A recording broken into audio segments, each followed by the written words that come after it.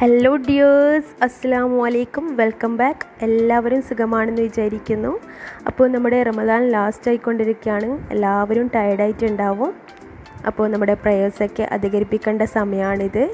ഈ ഒരു സമയത്ത് നമുക്ക് വളരെ എളുപ്പത്തിൽ വളരെ ഈസി ആയിട്ട് ഉണ്ടാക്കാൻ പറ്റിയ ഒരു റെസിപ്പിയുമായിട്ടാണ് വന്നിട്ടുള്ളത്. Shawarma lasagna. നല്ല കിഡിലൻ റെസിപ്പിയാണ് നമുക്ക് ജിന്നർ മീലായിട്ടും അല്ലെങ്കിൽ ഇഫ്താർ സ്നാക്കുമായിട്ട് സെർവ് ചെയ്യാൻ പറ്റിയ ഒരു അടിപൊളി ഡിഷാണിത് സോ എല്ലാവരും ട്രൈ ചെയ്യണം. അപ്പോൾ ഇതിന്റെ പ്രിപ്പറേഷൻ നമുക്ക് നോക്കാം.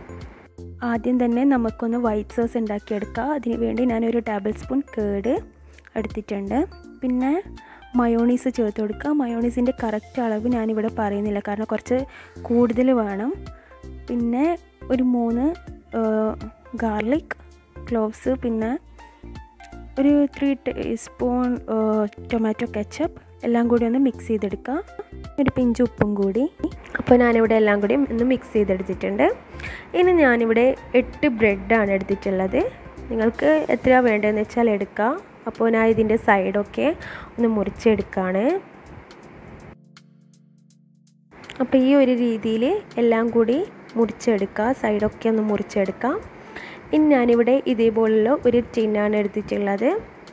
ഞാൻ ബ്രെഡ് ഒന്ന് വെച്ച് നോക്കുകയാണ് നമ്മുടെ ടിന്ന് കറക്റ്റാണോ സൈസ് കറക്റ്റാണോ നോക്കുകയാണ് ഇത് ഞാൻ ഉപ്പും മഞ്ഞളും കുരുമുളകും കൂടി വേവിച്ച ചിക്കനാണ് ഇതേപോലെ എന്നിട്ട് ഷ്രിങ്ക് ചെയ്തെടുക്കുക പിന്നെ ഒരു കാൽ ക്യാബേജ് ഇതേപോലെ ചെറിയ പീസസ് ആയിട്ട് മുറിച്ചെടുക്കുക പിന്നെ ഒരു രണ്ട് വലിയ ക്യാരറ്റ് ഗ്രേറ്റ് ചെയ്തെടുത്തതാണ്.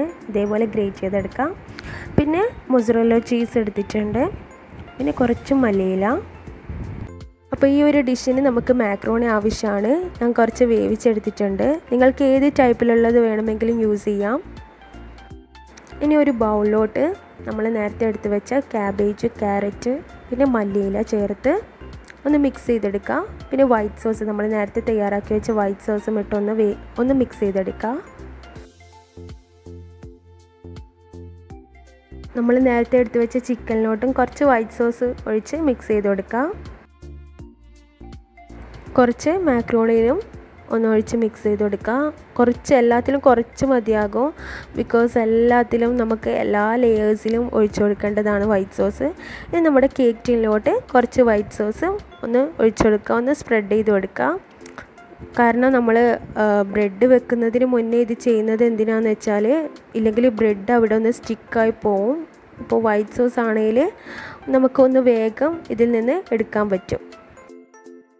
അപ്പോൾ നമ്മുടെ ഫസ്റ്റ് ലെയറിലും ഇതേപോലെ വൈറ്റ് സോസ് കുറച്ച് സ്പ്രെഡ് ചെയ്ത് കൊടുക്കാം. പിന്നെ നമ്മൾ നേരത്തെ എടുത്ത് വെച്ച ചിക്കന് ഇതേപോലെ മുകളിലൊന്ന് ഇട്ട് കൊടുക്കുക പിന്നെ ക്യാരറ്റ് ക്യാബേജ് മിക്സ് ഉണ്ടല്ലോ അത് ഇതിന് മീതെ ഇട്ട് കൊടുക്കാം.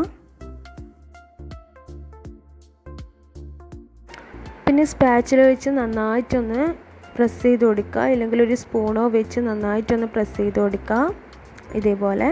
പിന്നെ നമ്മൾ വേവിച്ച് വെച്ച മാക്രോണി ഇതിന്റെ മുകളിലൊന്ന് ഇട്ട് കൊടുക്കുക. അത് ഒന്ന് നന്നായിട്ട് ഒരു സ്പാച്ചിൽ യൂസ് ചെയ്തിട്ട് ഒന്ന് പ്രസ് ചെയ്ത് കൊടുക്കുക.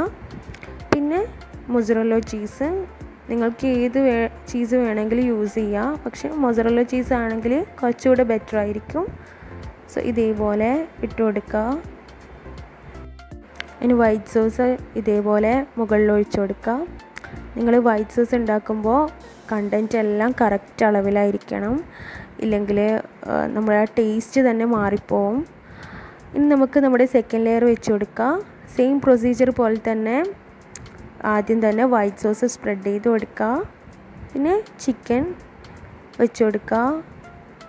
എല്ലാം സ്പാച്ചിൽ കൊണ്ടൊന്ന് പ്രസ് ചെയ്യണം കേട്ടോ ഇതേപോലെ എല്ലാം ചെയ്ത് കൊടുക്കുക അപ്പോൾ മാക്രോണിയും എല്ലാം ഇട്ട് കൊടുക്കുക പിന്നെ ചീസ് മൊസറലോ ചീസ് ഇട്ട് കൊടുക്കുക എല്ലാം കൂടി കഴിഞ്ഞതിന് ശേഷം പിന്നെ നമ്മൾ കുറച്ച് ചിക്കൻ ബാക്കിയുണ്ടായിരുന്നു അപ്പോൾ അതും കൂടി ഇതിന്റെ മുകളിലോട്ട് ഞാൻ ഇട്ട് കൊടുക്കുന്നുണ്ട്. ഇനി നമുക്ക് ഒരു സ്പാച്ചിൽ യൂസ് ചെയ്തിട്ട് ഇതിന്റെ സൈഡൊക്കെ ഒന്ന് ലെവൽ ചെയ്ത് കൊടുക്കുക ഇതേപോലെ. കാരണം ഇത് സൈഡിൽ ഒട്ടിപ്പിടിക്കാൻ പാടില്ല. അപ്പോൾ നമുക്ക് പുറത്തെടുക്കാൻ വേണ്ടി കുറച്ച് പ്രയാസമായിരിക്കും.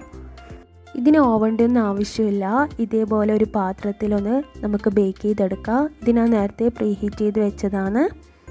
ഇതേപോലെ ഒന്ന് ബേക്ക് ചെയ്തെടുക്കുക ഒരു ട്വന്റി മിനിറ്റ്സ് അല്ലെങ്കിൽ ഇതിന്റെ ചീസ് ഒന്ന് മെൽറ്റ് ആവുന്ന വരെ ഒന്ന് ബേക്ക് ചെയ്തെടുക്കുക അപ്പോൾ നമ്മുടെ ഷവർമ ലസാന റെഡി ആയിട്ടുണ്ട്. നല്ല എമ്മായിട്ടുള്ള ഒരു ഡിഷാണിത് ഒരു പീസ് മതിയാകും. നമ്മുടെ വയറ് ഫുള്ള് നിറയും. കാരണം ചീസും ബ്രെഡൊക്കെ ആകുമ്പോൾ ഒരു പീസ് തന്നെ ധാരാളമാണ് അതുകൊണ്ടാണ് ഞാൻ നേരത്തെ പറഞ്ഞത് നമുക്ക് ഡിന്നർ മീലിനൊക്കെ സെർവ് ചെയ്യാൻ പറ്റിയ നല്ലൊരു ഡിഷാണിത് ഡിന്നറിന് മാത്രമല്ല ഇഫ്താറിനൊക്കെ സെർവ് ചെയ്യാൻ പറ്റിയ നല്ലൊരു സ്നാക്കും കൂടിയാണിത്.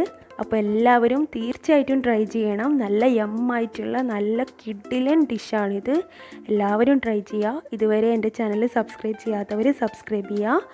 പിന്നെ ബെല്ലൈക്കൺ കൂടി അമർത്താം. അപ്പോൾ ഞാൻ ചെയ്യുന്ന എല്ലാ റെസിപ്പീസിന്റെയും നോട്ടിഫിക്കേഷൻ നിങ്ങൾക്ക് കിട്ടും. നിങ്ങളുടെ ഓരോ ഫീഡ്ബാക്സും കമന്റ് ബോക്സിലൂടെ അറിയിക്കുക പിന്നെ ലൈക്ക് ചെയ്യുക ഷെയർ ചെയ്യുക. അപ്പോൾ ഇൻഷാല്ല അടുത്ത കിഡിലൻ റെസിപ്പിയുമായിട്ട് ഞാൻ വീണ്ടും വരും. അപ്പോൾ എല്ലാവരും സ്റ്റേ ഹോം സ്റ്റേ സേഫ് ആയിരിക്കാം. Thank you bye bye